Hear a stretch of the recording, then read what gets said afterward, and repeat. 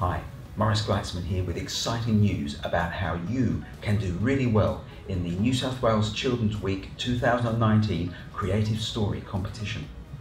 Three bits of advice. One, a good story must have a character with at least one big, interesting problem in their lives. We all like to be happy, but in stories, we must have a problem to make it interesting, exciting, unexpected, thrilling, and all the rest. Two, when we have problems in our lives and in our stories, we feel emotions. Don't forget to fill your story with feelings, emotions, because those are what will help readers connect and love your character and your story. And finally, no big words, don't need to. Short, simple, everyday words, the ones you use speaking to your friends, they're the ones that will connect your story straight into the hearts and minds of your readers. Good luck and don't hold back.